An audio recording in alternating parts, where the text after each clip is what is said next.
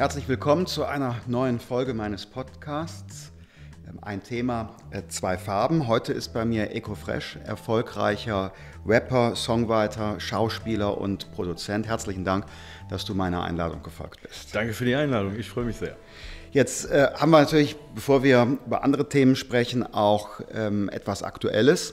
Äh, nämlich die Situation in Syrien, die Situation äh, Türkei. Und ich frage äh, das deshalb, weil ähm, deine Wurzeln sind äh, in der Türkei. Ich glaube, dein äh, Vater oder deine Mutter hat ähm, auch eine kurdische Herkunft. Ja, genau, genau. Du selbst bist, bist aus dem Rheinland. Genau. Ja, ähm, und das ist für mich die Frage, wie, wie sitzt, schaust du auf diese, diese Situation dort, gerade vor dem Hintergrund Kurden-Türkei-Konflikt? Wie ist deine, deine Einschätzung? Ich glaube, das ist für alle schwer, die hier leben. Ja? Man, man redet nicht wirklich drüber, man weiß nicht, was der andere denkt. Und da gibt es natürlich auch sehr viele Hardliner auf beiden Seiten. Äh, man will nicht das Falsche sagen, man will nicht direkt in so eine Diskussion geraten. Das heißt, ähm, ich sehe da so eine, so eine Bewegung, dass man, dass man, dass es wie so ein Code ist. Alle halten sich so ein bisschen da raus. So, ne? ähm, macht auch in gewisser Weise Sinn. Viele von meinen Hörern sind äh, auch türkischer Herkunft oder von, von, von, meinen Fans oder wie du das oder mhm. Freunden oder ja. wie du das beschreiben willst. Insofern, natürlich habe ich auch ähm, selber eine Meinung, die aber wahrscheinlich eher in die Richtung geht, dass ich generell äh, nicht will, dass es Krieg auf der Welt gibt. Ich bin ja jetzt nicht wirklich, wie du sagst, ich bin aus dem Rheinland, ich bin nicht wirklich ein Experte. Ich habe eine Meinung wie jeder andere Mensch auch, aber ich habe das jetzt nicht irgendwie äh, mehr im Blut oder, mhm. oder mehr studiert oder was auch immer. Ich sehe das auch eigentlich nur im Fernsehen, so ja, wie, mhm. wie jeder andere, wie, wie, wie gut, ich glaube, du kennst dich da wahrscheinlich besser aus als ich, wie jeder andere, wie die äh, Jungs und Mädels hier hinter der Kamera. Also ähm, natürlich sehen die Leute einen äh, an und ähm, man will immer so Schlüsselfiguren haben. Mhm. Hier, ähm, du kommst doch von da, was, was denkst du dazu? Es ist einfach ein saukompliziertes Thema. Ja? Und mhm. egal, was du sagst, ich würde dann lieber darüber reden. Das, das macht den Leuten, glaube ich, die hier wohnen, die auch dieselben Wurzeln haben, totale Angst. Und wie du gesagt hast, ich bin auch selber äh, Hälfte, Hälfte. Mhm. Und äh, in meiner Familie gibt es diese äh, Anfeindung untereinander nicht, sonst wäre ich ja nicht zustande gekommen irgendwie. Ja. Aber äh, ja, genau. Ne? Du bist das lebende Beispiel für mögliche Versöhnung. Ganz genau, ganz genau.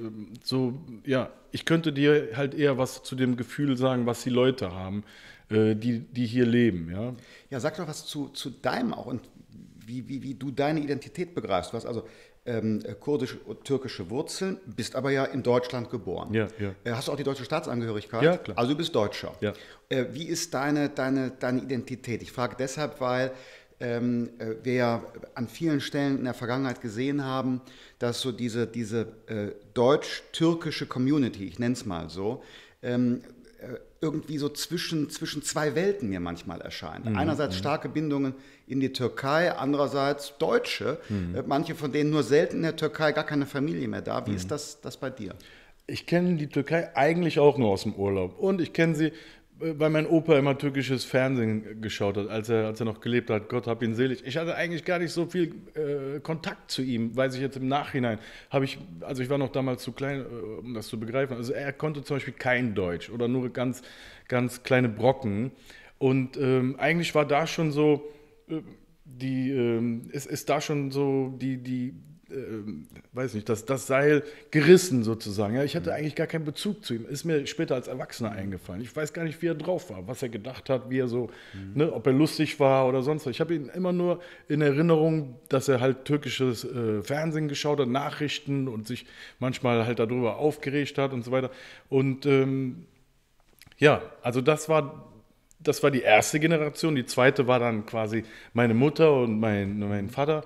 Und die haben ja hier schon so die ersten, ähm, weiß nicht, Kontakte gehabt oder die ersten äh, äh, auch geschäftlichen äh, Beziehungen und so weiter. Also es ging dann immer weiter. Und als ich auf die Welt kam, war das ja schon, ich bin ja quasi wie ein Deutscher aufgewachsen Klar. sozusagen. Ja, also ich wurde zwar immer wieder daran erinnert, weil ich, äh, ich war zum Beispiel auf dem Gymnasium, da war ich einer von wenigen äh, Schwarzköpfen, sag ich mal so salopp, so, ja. Also wurde schon daran erinnert, aber es war jetzt nicht so, ähm, ich habe mich jetzt nicht ausgeschlossen gefühlt oder, oder als Teil äh, äh, oder, oder nicht als Teil de, der anderen gesehen. So, ja. so war das jetzt nicht. Allerdings hat sich nach der Zeit auch teilweise durch meinen Beruf ergeben, dass ich äh, so, so, eine Art äh, Verbindungsfigur wurde. Ja, da habe ich mich am Anfangs total gegen gewehrt, ähm, weil ich äh, Rapper sein wollte und mich auch als solcher verstand und auch ähm, das Rappen an sich total gut ähm, konnte oder ja. dachte ich kann das. Ja. Also ich bin da so aus so einem technischen Aspekt rangegangen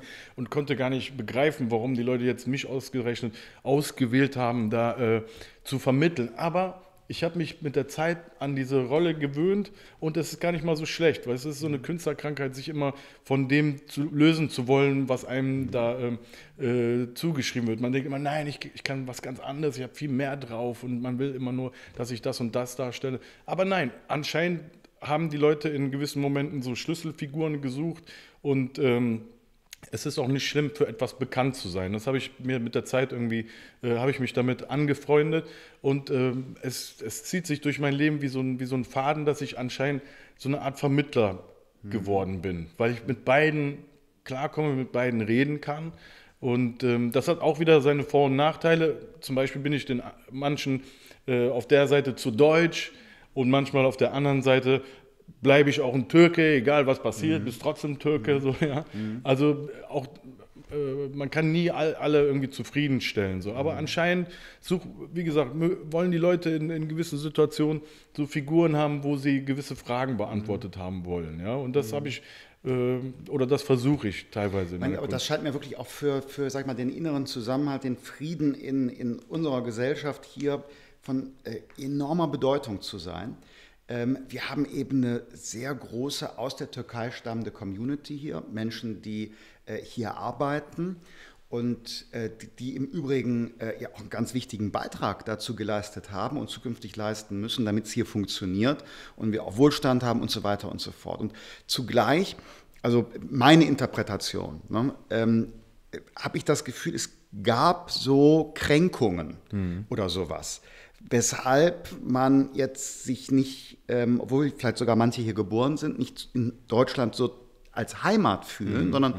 man ist, man wohnt irgendwie hier, aber Heimat ist so der Sehnsuchtsort Türkei mhm. mhm. Äh, mit dem starken Mann Erdogan, der ja enormen Zuspruch hat äh, in, in äh, Deutschland in der Community. Und für mich ist so die Interpretation, der zeigt eine starke Türkei ja, ähm, und ähm, gibt deshalb denen, die hier so eine Kränkung erfahren haben, mhm. in den letzten Jahrzehnten ein Stück Selbstbewusstsein zurück. Mhm. Was man ja auch daran sehen kann, Mensch, also ich denke jetzt an an, an Ösil oder, oder allein daran, dass, dass in den, den Konsulaten in Deutschland äh, Erdogan für Verfassungsänderungen und bei Wahlen mehr Stimmen bekommt als, als in Izmir, Ankara oder Istanbul. Mhm. Und da haben wir noch eine Riesenaufgabe irgendwie mit, mhm. mit sag mal, der, der nachholenden Integration und der Offenheit. Ne? Ja, ich glaube, dass das irgendwie sich mit der Zeit auch geändert hat, dieses Gefühl äh, der Kränkung, was du sagst. Ich meine mich damals erinnern zu können, dass es in meiner Jugend nicht so war, zumindest nicht so ausgeprägt. Ich habe es zumindest nicht die ganze Zeit erfahren. Ich habe es ab und zu mitbekommen, wenn irgendwie äh, meine Mama zum Beispiel gedacht hat, äh, gesagt hat, irgendwie, wenn wir eine Wohnung gesucht haben, oh nein, hoffentlich nehmen die uns äh, mhm. und sagen nicht sofort nein und so. Also sowas gibt es schon. Ne? Mhm. Aber es ist eigentlich nicht etwas, was einen ständig verfolgt, wenn, mhm. wenn, man, wenn man gewisse Ziele versucht zu erreichen. Ist es jetzt ähm, ist etwas, was manchmal aufploppt, aber man kann es auch, äh, man kommt auch gut durchs Leben so. Ja, es ist mhm. sicherlich, gibt es da Redebedarf und das mhm. lässt sich klären. Keine Gesellschaft ist perfekt, aber ich habe bin ja auch ein Beispiel dafür, dass man da durchs Leben kommt. Naja, zu dieser, um zu dieser Kränkung zurückzukommen.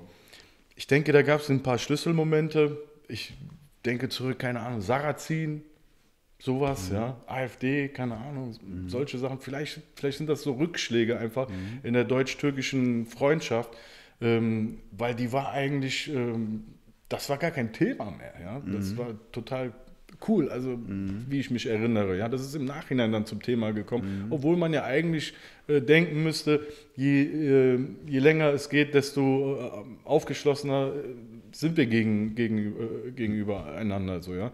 Aber dem, äh, das scheint ja nicht so zu sein. Ne? Mhm. Ja, was kann man machen? Du hast ein Label, das heißt German Dream. Genau, genau. Und ähm, spielt das in dem Zusammenhang eine Rolle? Ich will dir erstmal was sagen. Ja? ja. Also erstmal Respekt an die Kollegin äh, Düsen Tekal, ne? die mhm. hat das ja irgendwie zu einer Stiftung und so gemacht. Ich muss ja wirklich was sagen, finde ich auch gut, dass ich hier diesen Podcast habe, um, äh, um das mal ja. gleichzeitig zu sagen. Ich habe diese, diesen, dieses Wording, diesen Sprachgebrauch in Deutschland erfunden. Ich habe das 2002 zu meinem Motto gemacht, mhm. zu meinem Label gemacht. Ich habe das sogar tätowiert und so, ja. Ich habe darüber Wo? gerappt, hier da, auf, auf dem Oberarm, ja, ja, German Dream, ja. Also eigentlich so unwissend. Ich wusste ja nicht, mhm. dass das irgendwann mal so in den deutschen Sprachgebrauch äh, passt und dass das einmal, äh, ja, also dass das einmal so äh, sein wird. Auf jeden Fall habe ich mich als German Dream gefühlt. Das heißt also, mhm. ich habe das nicht benutzt, weil das vor mir irgendeiner aufgeschrieben hat, hier, ey, du bist der German Dream, wenn du in Deutschland deinen Traum mhm. verwirklichst als äh, Migrant oder sonst was, sondern ich habe das in dem Moment gefühlt, ja, ich, mhm. und habe das dann so quasi äh, aufgeschrieben oder, oder, oder äh, gemacht. Also deswegen, ich habe nichts dagegen, dass das jetzt benutzt wird, ja, vielleicht landet das ja mhm. irgendwann äh, in Duden. Im Duden, ja. Aber ich muss euch wirklich sagen, ich habe das erste Hand ähm, erlebt, ja. Und deswegen. Den German Dream. Den German Dream. Deswegen würde ich so weit gehen zu sagen, ich bin der German Dream. Was ist der German Dream? es, es schaffen zu können. Es schaffen zu können. Ich muss, muss dir sagen, ich habe mir Vorbilder immer aus, aus äh, Amerika genommen, schon früher, mhm. sonst würde ich auch diese Musik nicht machen, weil damals war die in Deutschland noch nicht so verbreitet. Das heißt, du musstest nach Übersee schauen, mhm. um da irgendwelche Informationen zu bekommen. Und für mich waren Leute ähm, halt ähm, wie, keine Ahnung, Puff Daddy oder so, ja, total die mhm. Vorbilder, ja.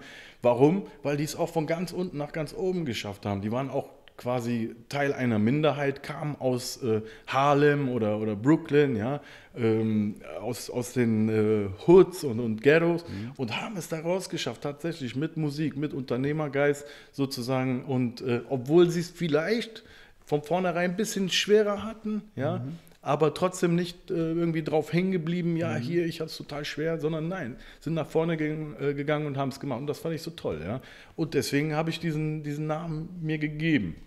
2002 schon. Ja. Und der Gedanke spielt auch in deiner Arbeit über äh, jetzt das Produzieren hinaus äh, eine Rolle. In deinen Songs thematisierst du das auch. Ja, total. Du hast aber, da hast du äh, Preise für bekommen, ähm, 11 äh, Millionen Mal auf YouTube geschaut. Da geht es auch um äh, Ressentiments, wechselseitigen Respekt. Ja, das, also dieses Thema kommt in kommt immer wieder vor. Das ist das, der, der, der, das Überthema meiner Karriere sozusagen. Es wird von allen Seiten mal ähm, bearbeitet. Ja? Bei Aber ist es ein, ein, das ist ein sehr ernster Song, ähm, wo eben ein, sag ich mal, weiß nicht, ein, ein, ein, ein ähm, enttäuschter Deutscher und ein enttäuschter Türke, mhm. ich versuche es jetzt relativ positiv auszudrücken, miteinander reden.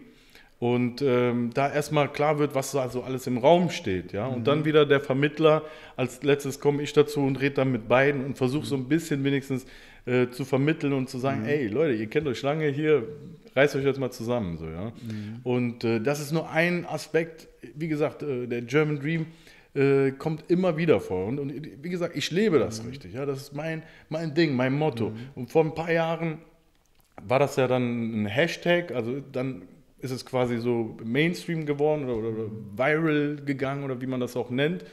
Ich dachte erstmal, wow, ne? Ich, das hat ja. mich gewundert weil du musst ja verstehen, das ist so wie mein Brand, ja. Mhm. Und, ähm, aber dann fand ich es cool. Am Anfang, mhm. am Anfang war ich erstmal ein bisschen skeptisch, aber dann fand ich es cool, weil es ja für was Gutes steht.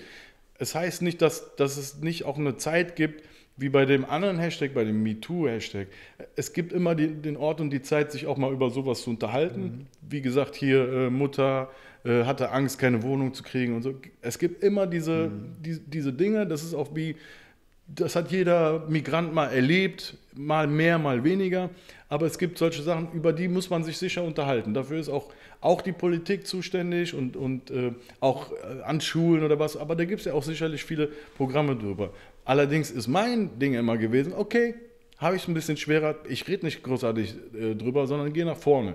Es war mhm. immer mein Ding, ohne Rücksicht auf Verluste mhm. habe ich versucht. Und ich war bestimmt, ich war zweimal in meinem Leben ähm, hatte ich auch Rückschläge, war mhm. quasi wieder auf Null, aber ich habe es wieder versucht und wieder versucht und ich habe mhm. nicht aufgehört. Ja, das finde ich total sympathisch und das ist nicht nur eine Sache für Menschen mit ähm, einer Einwanderungsgeschichte wichtig, sondern generell für unser Land. Also ja. wenn uns was zusammenhält, dann müsste es doch der Gedanke sein, alle sind frei, aber wir kümmern uns darum, dass jeder auch eine Chance hat, was aus seinem Leben zu machen, dass niemand aufgrund seiner Herkunft ähm, äh, in seinem Leben eingeschränkt ist mhm. und, und, schlechtere Chancen hat. Ist noch ein Riesenthema bei Bildung. Ich glaube, darf man nicht verschweigen. Wir haben äh, immer noch ein Bildungssystem, wo die familiäre Herkunft, die Ausbildung der Eltern, das Einkommen der Eltern einen enormen Einfluss darauf hat, mhm. welchen Lebensweg ähm, dann die Kinder einschlagen. Mhm. Das passt eigentlich so gar nicht zum German Dream. Also mhm. insofern würde ich politisch sagen, der, der German Dream, das muss unser Anspruch äh, sein. Ja, ja. Aber es ist leider zu selten noch die, die Realität für alle. Also ja. ich glaube, da müssen wir noch dran arbeiten und da sehe ich deine Arbeit und, und äh, sozusagen deinen Appell, ähm, auch den von Düsen Tekal, die du angesprochen hast, äh, eher als einen Arbeitsauftrag. Definitiv. für die Politik, ne? also gerade Bildungsbereich und so weiter. Guck mal, ich bin so viele Jahre unterwegs. Viele äh, Migranten, Mitbürger und so weiter, die sind stolz darauf, wenn die mich sehen und, mhm. und fühlen sich durch mich vertreten. Ja? Ich bin auch stolz auf die. Ich sehe so viele, viele stellen mir auch Fragen und so weiter. Aber weißt du, was mich am meisten antörnt? Wenn ich den dann frage, hör mal, und, und was machst du? Und der erzählt mir irgendwas, wie der was gegründet hat, wie der einen geilen Laden auf die Beine gestellt hat, ein mhm. geiles Unternehmen das türmt mich richtig an. Da setze ich mhm. mich mit dem hin, wildfremd, dann jetzt äh, mhm. frage ich den, wie hast du das gemacht? Mhm. Das ist, was mich einfach anzeigt. Mhm. Wenn, wenn es irgendwie geschafft wird, ein geiles Unternehmen auf die Beine zu stellen, ähm, Eigentum zu holen, ja, sich ein Haus zu holen und so weiter. Mhm. Du musst dir vorstellen, äh, sein Vater hat vielleicht noch gar nichts gehabt, so weißt du, und mhm. der, der packt es dann so, ja. Mhm. Sein Vater hat zum Beispiel für, für ganz wenig Wohnraum zum Beispiel äh, irgendwie ähm, ohne Ende gearbeitet, mhm. so weißt du, und der Sohn denkt sich, hey, weißt du was, ich, ich werde das, ich werd das hier schaffen, ich, ich hole uns alle hier raus, ja. Geht raus, hat eine fette mhm. Idee, macht sein Ding, ja, und ähm, so, solche Geschichten, die, die, müssen wir erzählen. Die machen mich ja, an. Ja. Ich glaube, man muss, ja, ich finde das auch, auch äh, super. Äh, und ich glaube, das muss man erzählen, so in der ganzen Bandbreite. Die Gesellschaft ist ganz vielfältig. Es gibt äh, die, die äh, Erfolgsgeschichten, wo Menschen sich was aufgebaut haben. Auf der anderen Seite muss man sehen, es gibt auch, auch Geschichten, die äh, sind eher traurig. Da gelingt es noch nicht, auch in der nächsten Generation. Wir müssen nur die ganze Bandbreite sehen und mhm. so Pauschalurteile. Mhm. Äh, die Deutschen, äh, die Eingewanderten, mhm. ich glaube, die Pauschalurteile, die bringen in der Gesellschaft ganz viel an, an Wut und an Unverständnis, mhm. weil die, das Leben ist vielfältiger als nur mhm. Pauschalurteile. Das ist ja auch ein Thema eben ähm, für dich in der Vermittlerrolle. Mhm. Ähm, mich interessiert, wie ist denn die Reaktion der Szene, wenn du als Vermittler auftrittst mhm. äh, bei, bei deinem Publikum, weil zumindest ich so aus der Ferne betrachtet, äh, habe immer ähm, auch, auch äh, Rap in Deutschland wahrgenommen als, naja, sehr stark ähm, äh, Crime mhm. und äh, Agro mhm. und, und äh, Wut, äh, Ressentiment, also ja, das genaue ja, Gegenteil von, von, äh, von Verständigung. Ja, ja. Also ich muss ja sagen, dass das bekannteste äh, Rap-Genre ist dieser Gangster-Rap, den du, den du da mhm. ansprichst. Allerdings ist Rap genauso vielfältig wie das Leben. Ne? Da mhm. gibt es ganz verschiedene Arten von Rap. Es gibt auch, weiß nicht, studentenmäßigen Rap, es gibt äh, kommerziellen Rap, was, was auch immer, was das mhm. Herz begehrt. So, ja? Wie die Szene das aufnimmt. Ja, klar, das habe ich am Anfang gesagt, nicht jeder wird zufriedengestellt, immer und permanent. Ja? Ich höre hör mir auch oft an, ja, hör mal, was ist los? Du bist ja voll ähm, angepasst geworden und so. Das gehört aber manchmal dazu, mhm. weil, weil ich versuche, so, so, eine Gratwanderung zu machen und manchmal du, nimmst du an Sachen teil, die vielleicht für den alten Hardcore-Fan zu, zu corporate sind oder zu, ne, zu äh, gesellschaftsfähig. Dann, dann wiederum möchte ich an Sachen teilnehmen, die dann aber nicht mehr, nicht mehr gehen, weil ich bei zu äh, mhm. heftigen Platten irgendwie mhm. äh, dabei mhm. war. So, ja, es ist immer eine Gratwanderung, ja.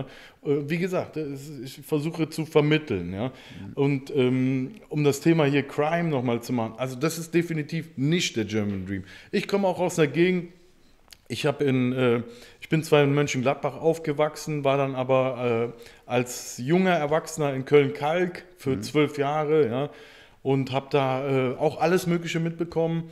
Und ähm, dann muss ich sagen, erstmal das, wie du, wie du eben erwähnt hast, das hat nicht unbedingt was mit, äh, damit zu tun, aus welcher Region derjenige stammt, weil da gab es auch ganz normale Deutsche, so urdeutsche Kölsche, dann gab es da Türken, Italiener, mhm. Marokkaner, waren alle zusammen. So. Das hat mhm. gar nicht so viel mit, äh, mit äh, Rasse zu tun gehabt, sondern eher mit, dem, mit so einem mhm. Klassenunterschied, warum sich sowas gebildet hat wie ey, äh, ich komme von hier, ich habe keine Chance, ich will aber auch einen Mercedes fahren. Wie schaffe ich das so, ja? Und dann kommen mhm. die quasi auf blöde Ideen. Es ist ja nicht jeder so ähm, quasi, ähm, weiß nicht, vom, vom Schicksal gesegnet und kann sein Talent in irgendwas äh, erfassen. Da ist einfach ganz viel Energie so, ja. Mhm. Und ganz wenn, wenn die gleichen Leute vielleicht woanders aufgewachsen wären, mhm. wären vielleicht äh, auch teilweise, äh, weiß nicht, Anwälte, Richter oder sonst was mhm. oder Polizisten draus geworden. Das heißt, was macht man mit dieser Energie? Ich versuche mhm. ja einen positiven Einfluss drauf zu mhm. nehmen, aber ich kann nicht, ich kann unmöglich mir das mhm. so vorknüpfen und das äh, alleine so ähm, verändern. Auf jeden Fall ist meine Message immer, äh, immer die gleiche und, und, immer die German Dream Message. In dieser mhm. German Dream Message hat aber Crime nichts verloren. Ähm, du bist ja auch als Schauspieler aktiv beim ja. ZDF und äh, spielst ja genau in so einem, einem Milieu, ja. ähm, Sozialwohnung, äh, man könnte fast sagen, irgendwie so abgeschottet. Ähm, jetzt sprichst du gerade über, über Köln-Kalk.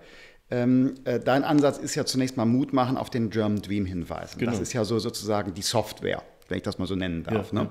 Ähm, äh, hättest du aus deiner Erfahrung oder jetzt mit der Beschäftigung mit dem Thema auch auch ein Rat, was so die Hardware angeht. Also das, was der Staat machen kann an, an Programmen, Schule. Mhm. Äh, Gibt es da etwas, wo du sagst, da, da wären Aufgaben für die Gesellschaft insgesamt, was besser werden kann, gerade äh, in, in äh, diese Lebensbereiche hinein? Das ist für mich ein großes Thema. Und wenn ich Politiker wäre, würde ich genau da ja. ansetzen. So, ja. Komm, dein Programm. Ja.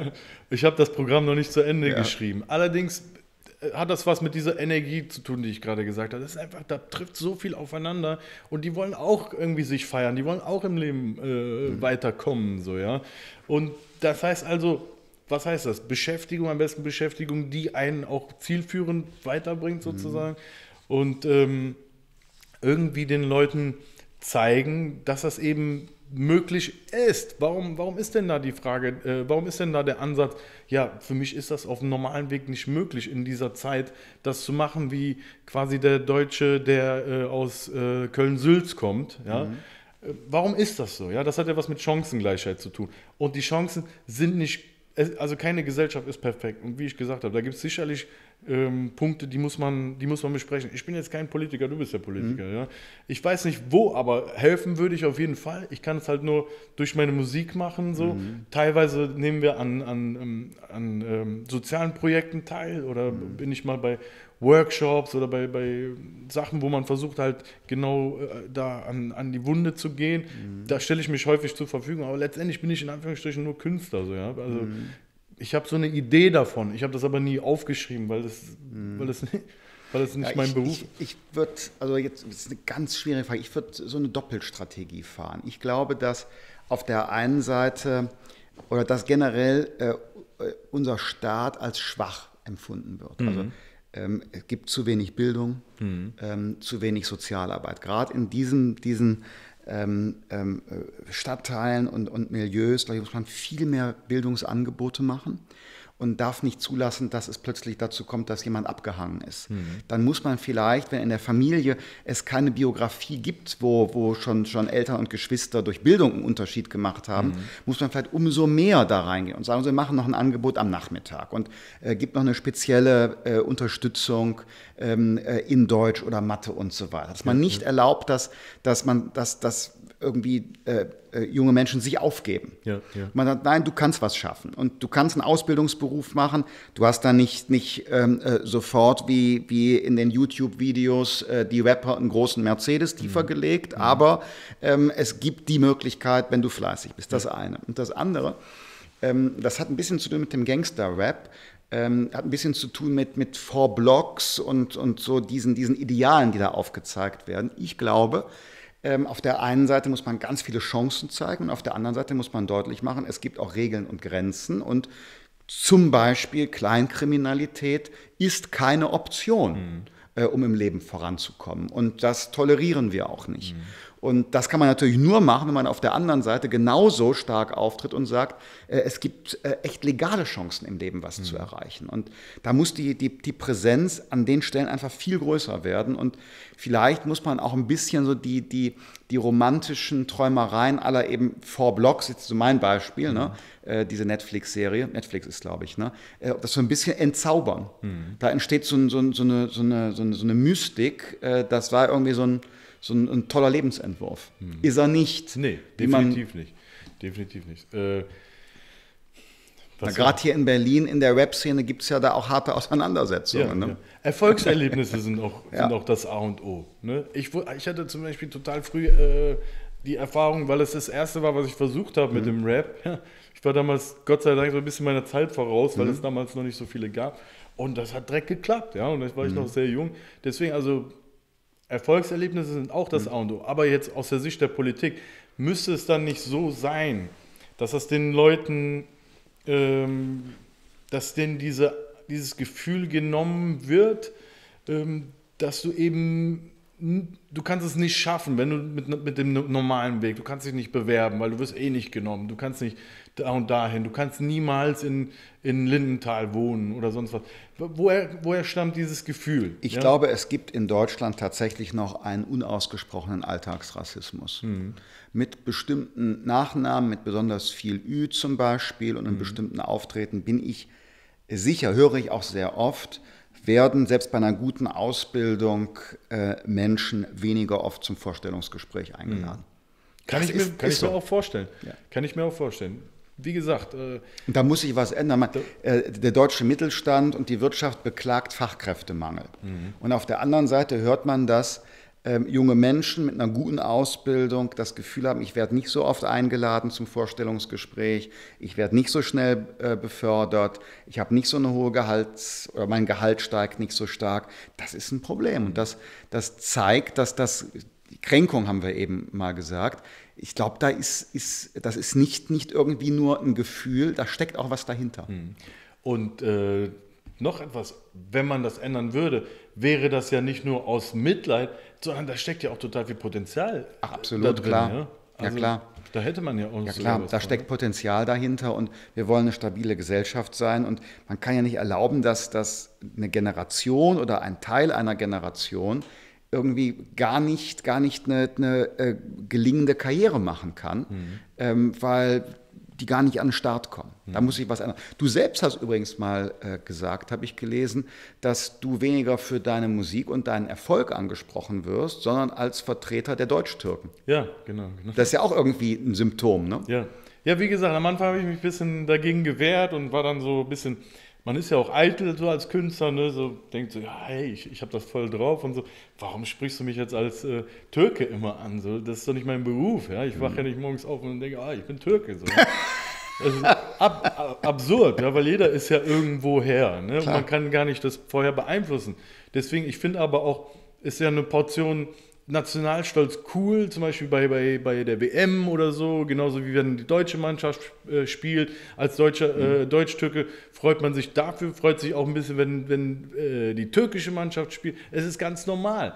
Aber ähm, das zum A und O deine Existenz zu machen, ist eigentlich absurd, weil du kannst dich ja, äh, du hast dir das ja nicht ausgesucht. Das heißt, du musst dir einen anderen äh, Mittelpunkt suchen, der dich ausmacht, sozusagen. Ja, ja klar, und vor allen Dingen, ähm, ich finde den, den Gedanken äh, völlig abwegig, die Identität, die man hat, an einer Sache festzumachen. Also jetzt mhm. in meinem Fall, was, gehört, was ist meine Identität? Ja, ich bin Deutscher, ich bin zugleich Europäer, mhm. äh, ich komme aus dem Rheinland, wie du. Ist auch Teil meiner Identität. Ich komme nicht aus Sachsen, sondern aus dem Rheinland. Mhm. So, ich bin Liberaler, ist auch Teil meiner Identität zu meiner Identität, was weiß ich, gehören, gehört äh, mein Beruf. Das heißt also, Identität hat ja viele Facetten und auch zum Beispiel die Facette, dass man Deutscher ist mit äh, türkischer Herkunft. Da ist man ja nicht entweder oder, sondern mhm. also dieser Versuch, und ich habe da manchmal das Gefühl, das nimmt noch stärker zu in mhm. dieser Zeit. Mhm. Man wird so auf eine Schiene gebracht mhm. und muss sich für eins entscheiden. Dabei sind wir alle ganz vielfältig. Ja, ja. Also mhm. jeder in sich ja auch. Man wird gezwungen quasi, weil, weil die Gesellschaft halt so polarisiert ist ne? und sich eben viele Leute diese Identität eben als, ähm, oder diesen, diesen, diesen Umstand eben als Hauptidentität sehen. Warum? Mhm. Weil sie vielleicht gar nicht so viel anderes haben, worauf sie mhm. stolz sein können. Ja, das ist ja genau dann vielleicht, aber wie gesagt, ich glaube, das ist eher so ein Klassenunterschiedsding, mhm. ja, weil du, du, du gibst dich, du musst dich damit wenig zufrieden geben, siehst, wie du, wie du auch gesagt hast, auf YouTube, Leute haben total viel Kohle oder auf Instagram oder so, da tut ja eh immer jeder, als ob. Nur Millionäre im Urlaub. Nur ja. super läuft, ja. Und dann, ähm, und dann faxst du dich ab, darf ich Fax sagen? Dann faxst du dich ab und denkst dir, ja, okay, und versuchst dir etwas zu finden, an dem du dann festhältst, ja. Und ich glaube eher, dass das was mit Bildung zu tun hat und mit, dem, mit, der, mit der gesellschaftlichen Klasse, in der man sich befindet, als unbedingt, wo man, wo man herkommt, weil es gibt sicherlich auch viele Deutsche, die das genauso sehen, ja, die auch sagen, ja, ich bin stolzer Deutscher und ähm, die das, die, die das zum, zum Hauptteil ihrer mhm. Identität machen. Ja? Mhm. Wobei das ja eigentlich, wie gesagt, absurd ist. Natürlich, Nationalstolz ist immer cool, aber für mich ist das eher sowas wie beim Fußball oder bei irgendwelchen Ereignissen. Ja, ist eine, eine Facette. Genau, genau. ich bin Facette. wie beim Fußball. Ja, ich bin, ich bin Deutscher und BVB-Fan. Ich komme aus dem Rheinland und das sind da alles, alles, alles Facetten. Hast du zum Beispiel im Netz mal, mal Erfahrungen auch machen müssen mit, mit äh, Rassismus und Ressentiments? Na klar, na klar, aber das, ähm, also man ist ja nur ein Mensch, ne? so generell Kommentare im Netz, die beschäftigen dich manchmal mehr, manchmal weniger. Wenn du zum Beispiel gerade einen geilen Payday hattest, mhm. dann mhm. kannst du auch, ähm, brauchst du nicht unbedingt auf, auf, dir jedes Comment durchlesen. Man ist halt nur ein Mensch, ja? man ist auch mhm. so von seinem Tag äh, abhängig. So, ja? Aber klar, auch manchmal habe ich Tage, wo ich dann sehe und mich manches äh, verletzt. Allerdings äh, kann mich das nicht mehr so aus der Ruhe bringen, wie vielleicht als ich noch äh, jünger war. Aber um die Frage zu beantworten, natürlich, in, gewissen, in gewisser Weise, da sich ja meine Mucke auch immer wieder mit, der, mit dem Thema äh, vom, vom Klassenunterschied, von Nationalität mhm. und so weiter beschäftigt, ist ja, da verlaufen sich häufig mhm. äh, Leute. Außerdem hatte ich auch mal einen Song für Frauke Petri gemacht, einen Liebessong. Ja, da hatte ich auch, hatte ich auch ziemlich ja. viel äh, Shitstorm von, vom, von der rechten Maustaste. Ja? Mhm. ja, aber so ist das Leben. Man kann nicht jedem gefallen. Ne? Ähm, Cybermobbing ist da ein Thema. Ja. Dafür, da, mit dem Thema setzt du dich auch auseinander. Ja. Wie, wie kam es dazu? Mit eigener Erfahrungen, Kinder oder was ist der Grund? Ich wurde seit dem Lied Aber, ja. ja das war so, glaube ich, so der letzte Schritt, wo, die, wo der Letzte gesehen hat, okay, den kann man einladen, ja, der macht dir nicht alles kaputt.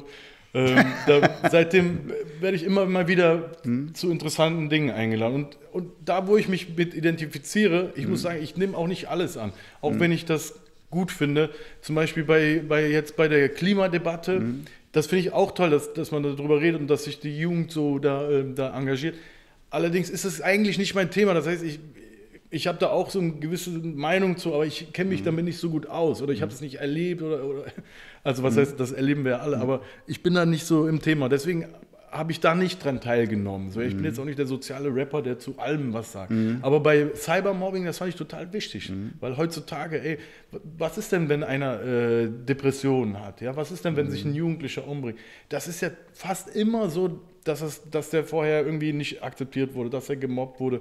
Und jetzt durch, durch Internet kann er dem auch nicht entfliehen. Das heißt, sogar mhm. wenn er zu Hause ist, mhm. dann macht er den, äh, den, Computer an und wird dann weiter äh, ausgegrenzt. Mhm. Ja? Und deswegen fand ich das wichtig, mich da, mich da einzusetzen und habe mich da mit ein paar prominenten Kollegen äh, äh ja, engagiert.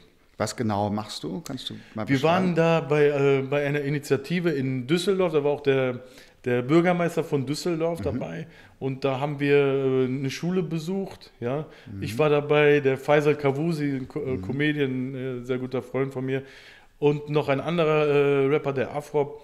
Äh, wir haben da quasi vor der Schule gesprochen, haben von unseren eigenen ähm, weiß nicht, äh, unseren eigenen äh, Erfahrungen gesprochen. Ich wurde jetzt, war eigentlich immer sehr beliebt in der Schule, aber ich, ich, wurde jetzt nicht gemobbt oder so. Aber ich konnte mich erinnern, dass manche gemobbt wurden. Ne? Mhm. Und ich habe auch, ich habe auch nicht immer, ich bin ja kein, kein Superheld, ich habe nicht immer gesagt, halt, hört auf den zu mobben. Ich war selber noch ein Jugendlicher. So. Mhm. Das heißt, ich war bestimmt auch dabei, wo mal alle über einen gelacht haben. Mhm. Und solche Sachen fallen dir aber später ein, wenn du erwachsen Klar. wirst. Ne? Wo du denkst, das war nicht in Ordnung. So, ja? Und das habe ich versucht dann äh, mhm. den, den, äh, den Jugendlichen zu, zu erklären. Mhm. Aber ich glaube, dass wir sehr, sehr aufschlussreiche, äh, äh, sehr aufgeschlossene Jugendliche haben, dass wir auch sehr schlaue Jugendliche haben. Und die, ähm, die fressen eigentlich jeden Bullshit.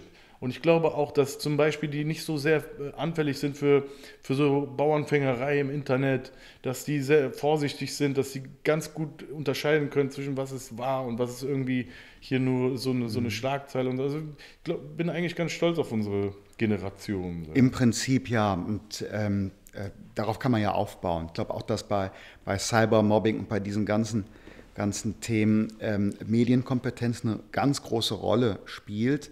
Ich glaube, wenn man da vermittelt, dass das eine ist, auf dem Schulhof einen Spruch zu machen und das andere ist, äh, systematisch im Netz was zu machen, Bilder zu verbreiten aus privaten oder intimen Situationen, dass es irgendwie ein ganz anderes Kaliber ist. Ich glaube, mhm. da muss man ansetzen. Haben wir auch mal hier Vorschläge gemacht. Ich meine, wenn es hart auf hart kommt, ähm, haben wir auch mal hier im Bundestag Vorschläge unterbreitet, muss man auch in der Lage sein, äh, sich gegen Hate Speech auch zu wehren, also mhm. auch, auch rechtlich zu wehren, mhm. zu wissen, also aus der Anonymität kommt jemand, äh, dass das kein absoluter Schutz ist, diese Anonymität, sondern mhm. dass man da auch gegen, gegen vorgehen können muss um einfach sicherzustellen, also hier geht es ja wirklich um, um, um ein ganzes Leben und mhm. äh, wie schnell kann man bei, bei, bei jungen Menschen ähm, teilweise noch Kindern, also deren, deren äh, ganzen Alltag zerstören. Mhm. Nur ein paar Leute, die einfach äh, keine Sensibilität und keine Empathie haben mhm. und einfach sich einen Sport daraus machen, jemand anderen auf dem Kicker zu haben. Ja, ja. Wie gesagt, zu unseren Zeiten, wir sind ungefähr gleich alt, da gab es kein Netz, das war anders. Ja, also das, das, das hat sich verlaufen oder so und ähm, äh, das geht eben heute so nicht mehr. Wie, wie, gehst du übrigens mit, mit äh, Anwürfen auf deine Person um? Ignorierst ja. du das oder? Manch, manchmal, äh, manchmal verletzt es mich und manchmal nicht. Wie gesagt, mhm. wie, wie, ich, wie ich gerade so drauf bin. So. Aber ich habe mir eigentlich mit der Zeit natürlich ein dickes Fell angeeignet. Hat ja dann aber nicht jeder, vor allem wenn du so jung bist. Ja, dann kann das, kann das, äh, kann dich das total verletzen. Ne? Kann dich auch in, äh, wie gesagt, in so eine Depression stürzen. Deswegen finde ich das toll, dass man sich da irgendwie engagiert. Ja, Jugendliche können, können auf eine Weise grausam äh, mhm. sein. Ja? So stolz ich auch äh, bin eigentlich über die Generation, aber man, man, ist ja nie perfekt. Und deswegen, also das ist auf jeden Fall ein Thema, da sollte man äh, ansetzen, weil keiner mhm. hat das verdient, irgendwie in so jungen Jahren, wir sprachen gerade von so Bestätigungs- ähm, Gefühl, ja, und das ist ja dann das genaue Gegenteil. Das heißt, in, mhm. in einer ganz fragilen äh, Lage kriegst du solchen Hate ab und das kann dich dein ganzes Leben mhm. wie, äh, beeinflussen, ja, das kann mhm. deinen ganzen Weg durcheinander bringen. Deswegen ist es schon auf jeden Fall ein sehr wichtiges Thema. Jetzt habe ich dich hier und damit einen Vertreter, führenden Vertreter dieser Szene und da kann ich natürlich nicht dran vorbeigehen, wenn du schon hier in Berlin bist, mal zu fragen, wieso deine Perspektive auf ähm, äh, Bushido und mhm. die Zusammenhänge dort, Agro Berlin, äh, Capital Bra, äh, Clans. Äh, wie, wie, wie, siehst du das? Wie mhm. ist dein, deine Position dazu? Ist das nur ein Teil der Szene oder ist das inzwischen ein äh, sehr bestimmender Teil eurer Szene? Es ist, es ist ein bestimmender Teil der Szene, ist, glaube ich, auch das polarisierendste und auch das, was am besten im Streaming läuft. Ne? Mhm. Es ist aber nicht die ganze Szene. Das muss ich ganz deutlich sagen. Das wäre ähm, wär unfair vielen anderen Künstlern gegenüber, weil, wie gesagt, Rap ist so facettenreich wie das Leben selbst. Weil mhm. ist, Rap ist auch, oder Hip-Hop ist, ist auch keine Sparte mehr. Ne? Das, ist, mhm. das ist quasi der neue Pop. Ne, auch wenn du kleine Mädels draußen siehst, mhm. die 13 sind, die haben irgendwas an, was, was von Hip-Hop kommt. Ob es Adidas Superstars sind, die wissen das vielleicht gar nicht. Ja. Ja. Das heißt, Hip-Hop ist irgendwie allgegenwärtig. Es ist unsere neue Popmusik. Und in, innerhalb dieser Musik gibt es ganz verschiedene äh, Spektren. So, ja? Und ich war selber auch mal ähm, unter Vertrag hier bei den Kollegen in, in, in, Berlin. Das war vor, weiß ich nicht, 15 Jahren oder was. Mhm da ich, konnte ich das aus erster Hand alles mitkriegen. Es hatte alles dann noch nicht so, so eine Öffentlichkeit, ja, und das wurde auch nicht so benannt, wie, wie du das jetzt alles mhm. benannt hast. Das, heißt, das war mir da nicht bewusst. Ich dachte, das ist hier einfach so. Ne? Mhm. Ähm, ich würde sagen, dass als, als Resümee, dass jeder ja selber wissen kann, welchen Weg er nimmt. Ja? Und ich habe allerspätestens, als mein Sohn dann kam, einen, einen gewissen Weg für mich rausgefunden ähm, auch hier so ein bisschen der Zwischenmann. Ich verstehe äh, die Jungs, die so Straßenrap machen. Und die, mhm. die äh, mögen mich meistens auch, so mhm. wissen, dass ich irgendwie von da komme, aber wissen auch alle, dass ich einen anderen Weg genommen habe, akzeptieren das aber auch. Mhm. Ja? Und andererseits kann ich auch äh, mit den ähm, richtigen, äh, weiß nicht, Hip-Hopern mit Rucksack, die, die, die freestylen und so weiter, mit denen komme ich auch total gut klar. Also den Oldschoolern so, ja. Mhm. Bin auch da irgendwie dazwischen äh, gelandet. Scheint irgendwie mein Schicksal zu sein. Aber ich versuche mit dem, was ich kann, einen guten Einfluss zu machen. So kann ich das, so kann ich das äh, abschließen. Allerdings lebe ich auch im Kapitalismus. Ich versuche natürlich äh, mein Kind irgendwie zu ernähren und so viel wie möglich für meine Familie zu schaffen. Und insofern ist das eine Gratwanderung, genauso wie mit den, mit den äh, wohltätigen Dingen. Ich nehme mhm. sie an, die, die zu mir passen, mhm. mache aber dann trotzdem auch mal was im Fernsehen oder mal eine mhm. Werbung. Ne? Ich sage immer so, äh, ganz äh, frech immer einen für die Kunst, einen fürs Geld. Ja. So, ja? Das, das, das, ist so mein, mein Credo. Aber naja, das, äh, nur so viel dazu. Also ich kann nicht so ganz in die Thematik eingehen. Aber ist vielleicht auch sicherer. Ja, ich habe hab aber alles miterlebt und mhm. weiß deswegen heute, was ich will und was mhm. nicht. Mhm. Ich wünsche dir viel Erfolg weiter damit Dankeschön. und danke für das Engagement. Dankeschön. Das war EcoFresh bei mir. Jawohl.